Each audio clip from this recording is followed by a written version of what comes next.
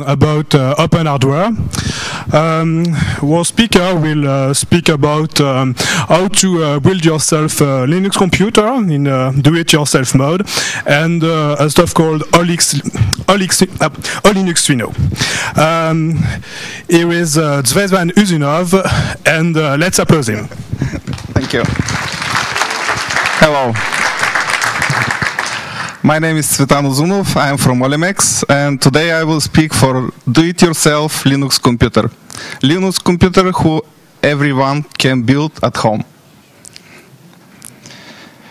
What is Olimex? Olimex is my company with 22 plus years of experience with electronic design and uh, hardware. We have about 600 different products and half of them are open source hardware. First, I, I would like to make clear what is open source hardware because many people are confused about this. When it, uh, it's about what is open source software, free open source software, everybody knows what it is. But with the hardware, everybody is confused. Even my friend Leon, uh, who had talk uh, before me, he said Cubieboard is open source hardware, which is not true. no, no problem.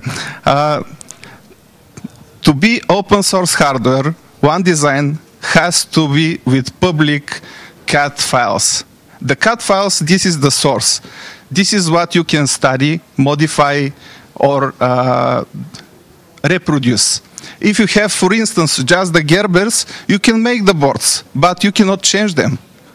If you have, for instance, the schematic in PDF or JPEG format, okay, you, you see the schematic, but how, how do you change it?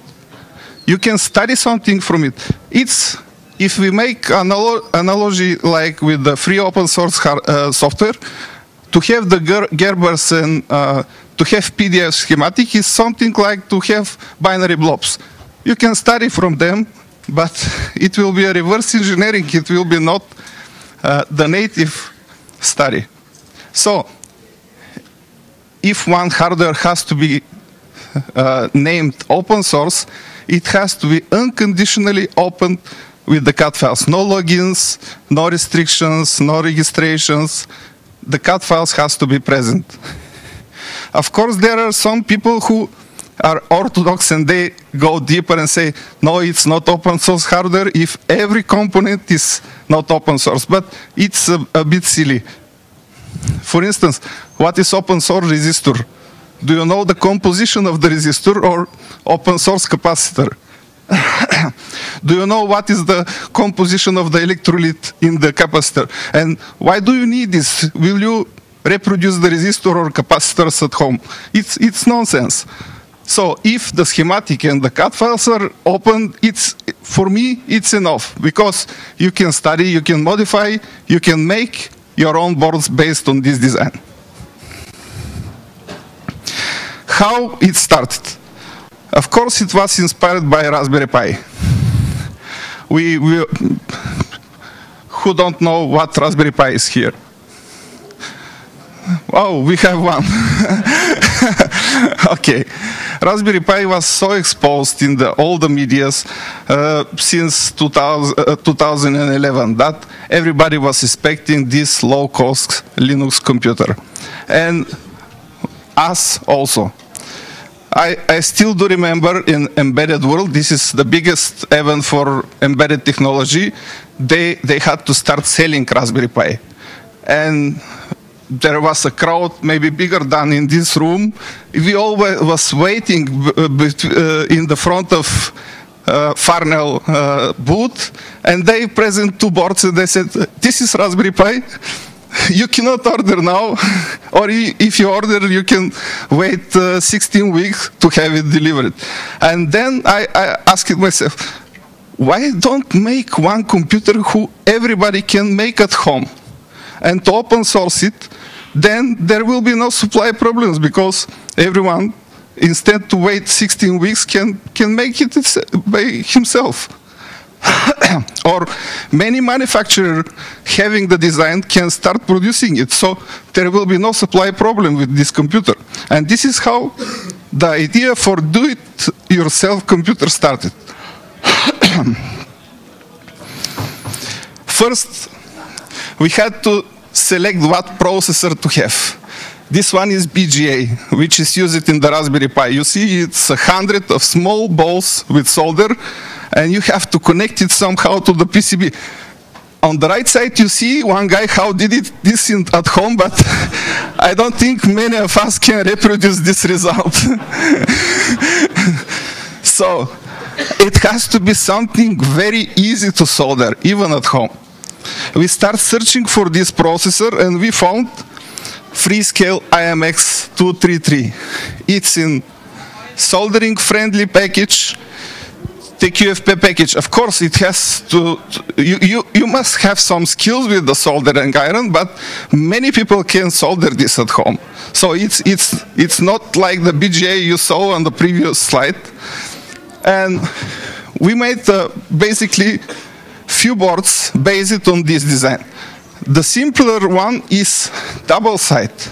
So even, even people can make it with, there are some geeks which make PCB at homes.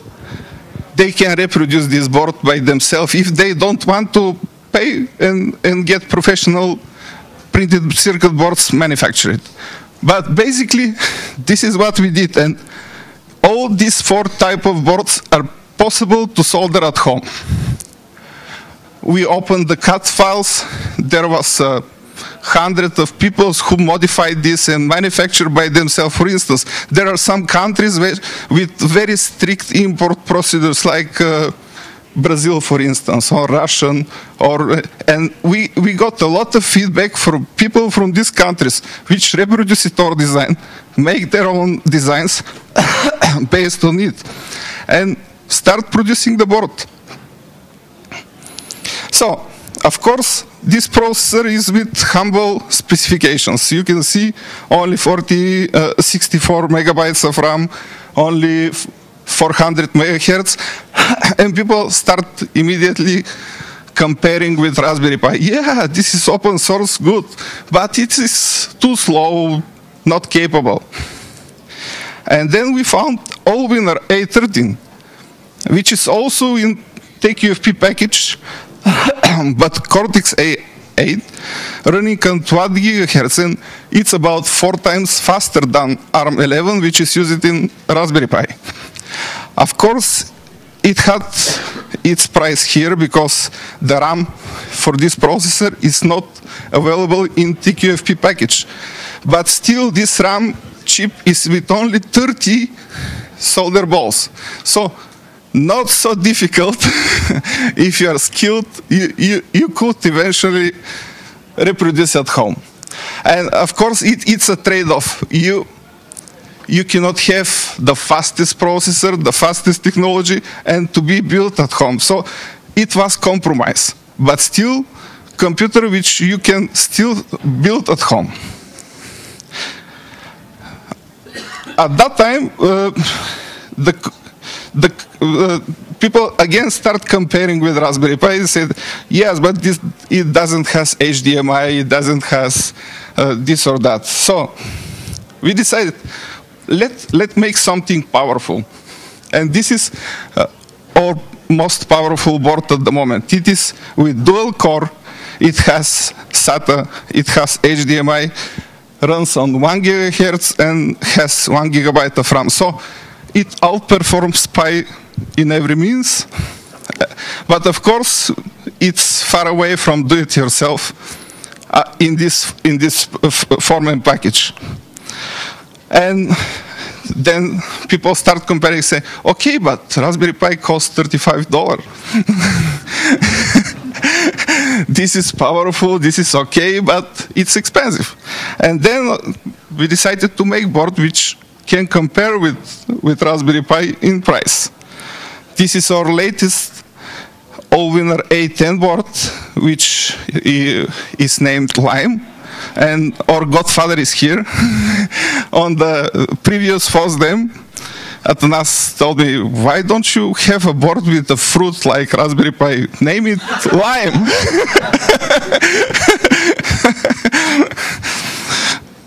so, this is only 30 euro. board which is again on 1 gigahertz, running on uh, ARM v7 core with uh, 512 megabytes of RAM. It has SATA, which allows you to plug one terabyte hard drive to it, so you don't have problems with the external space. Uh, it has uh, lithium polymer battery charger, so you don't need UPS. You can make server and to plug it one small lithium polymer battery here and to run hours just on the battery. So, if we make one conclusion, what we did from February 2012 when everything started till February this year. We have 14 different Linux boards, starting from 22 euro for the IMX 233 board up to 65 euro for the double core A20 board. They are used in thousands of applications starting from blinking LEDs via internet and uh, going through industrial automation. Even people use it in automotive. There are hundreds of derived, uh, works from, from our CAD files, people which made their own boards based on our design. And there are thousand people who learned that it is not so difficult to make his own computer at home. What's next? This year, Allwinner is releasing octa-core device with eight cores, and uh, we, we, we have almost ready four-core device. So this is what we will see this year. And this is where the resources for the project. Everything is on GitHub. When you go on GitHub, you can see the CAD files, how to build the Linux, how to build the Android, and, and everything you need to build your own computer based on, on our CAD files. That's my presentation. If you have some question, yes?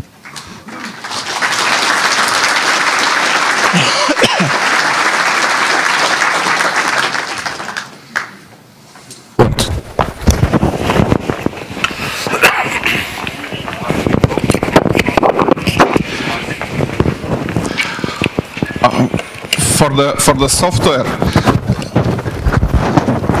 let me tell you that we use four different processors for the moment. Some of them has no binary blobs. Some of them has binary blobs. Some of them has binary blobs, but uh, there is work in progress from linux-sunxi, which are reverse engineering the, the, the video uh, acceleration and, and uh, Mali 3D accelerator, but they're still not complete. By the way, we are running hackathon in AW building. There you can see a Linux board running uh, Android and uh, Debian, and there you can see also some Arduino boards which we are uh, we are promoting on on FOSDEM. Uh,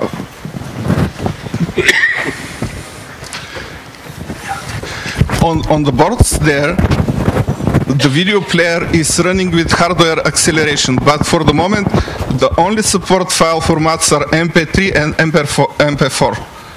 So, if you want to play some other format, the video acceleration will not work. Another question?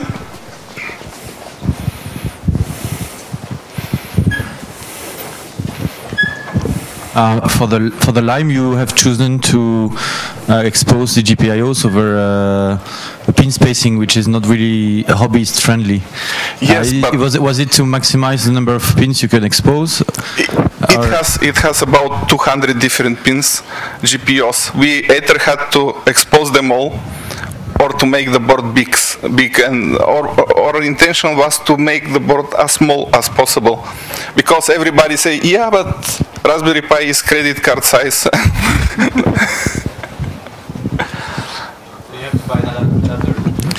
Yeah there is adapter or you can make shield and to, to expose more user friendly the, the GPIOs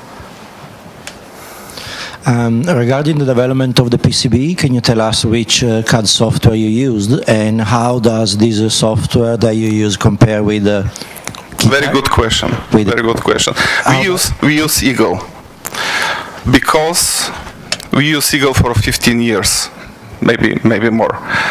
And uh, one of the differences between the free and open, open source software and f- uh, open source hardware is that you can develop open source software just with your computer. But for to, to develop open source hardware, you must to buy CAD system, which might cost thousands. And I have seen projects which uh, say we are open source hardware, but they are made by Au- Altium or something like this, which costs 6,000 euros something. And I say, how many contributors you will have when your CAD costs 6,000 euro?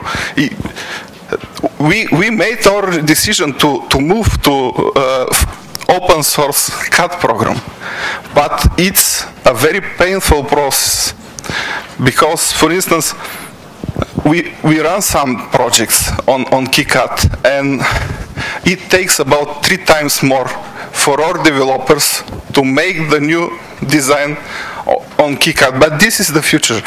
This is what, what we are going to do because when, when you use open source CAD, CAD program, you, you increase your, your collaborator and contributor database uh, actually. Would you recommend KiCad to all of us? Uh, we we have seen a lot of products, but seems KiCad is most sophisticated from the open source CAD products for the moment. Thank you. Yeah.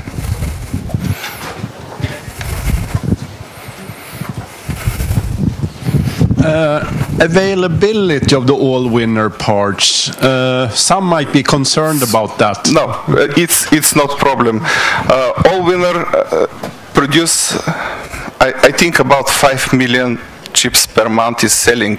Uh, I was thinking long-term availability. How long, long will they term, be yeah, th- that's another story. Allwinner is selling about 5 million chips. This means that there is a lot of inventory on Chinese distributors. You have no problems for, for just search on Alibaba or any of these trade sites and you will see thousands of uh, companies are selling Allwinner chips. Long-term term availability is another story because, oops, time out. long-term availability is a problem which Allwinner never faced before because usually the time cycle for, for the tablets and for the phones uh, system on chip uh, pro- processors is about six months. This is their peak sales. After six months, they start to decline. After one year, comes double core or four core octa-core. Next year will be 16 cores probably, and all these chips become obsolete in six or, or 12 months. So you cannot expect that somebody will keep selling, selling this for 10 years because in 10 years they will have no, no market at all for those chips. There will be 128 cores probably after 10 years. but what what Allwinners saw um, with this project is that open source hardware is extending the life of their products. Uh, yeah, the tablet manufacturer do not use Allwinner chips after 6 or 12 months, but a lot of companies made the designs with Allwinner chips because they had access to CAD files which are easy to get and to, and to test and prove concept and to put it in the industry. So they are see, they see that they can sell more chips in longer term if they support the open source. And what what I have like insurance from Allwinner is that if they decide to discontinue some of their chips, they, they will make us notice at least six months. So we can stock whatever quantity we want to, to, to foresee for the next years. Thank you for your talk. And if uh, you have another questions for him, uh, you can ask uh, him just out there.